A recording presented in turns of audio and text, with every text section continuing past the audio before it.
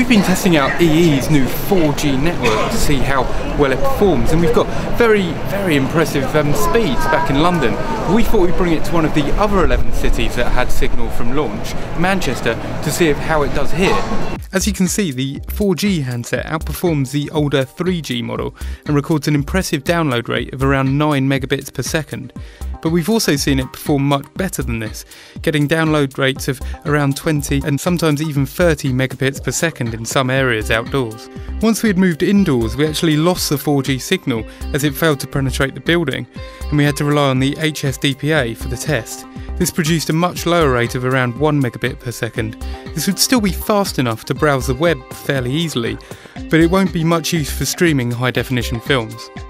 Outdoors in London, the 4G handset performed very well, recording speeds of around 18 megabits per second.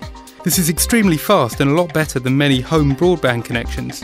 It'll be fast enough to stream movies and download apps and music very quickly. When we went indoors, this dropped off quite a bit, while we were still able to get download speeds of around 6 to 8 megabits per second, which should be more than fast enough for most things you'll do with your mobile phone. The connection was a little unstable and our speed test failed a couple of times.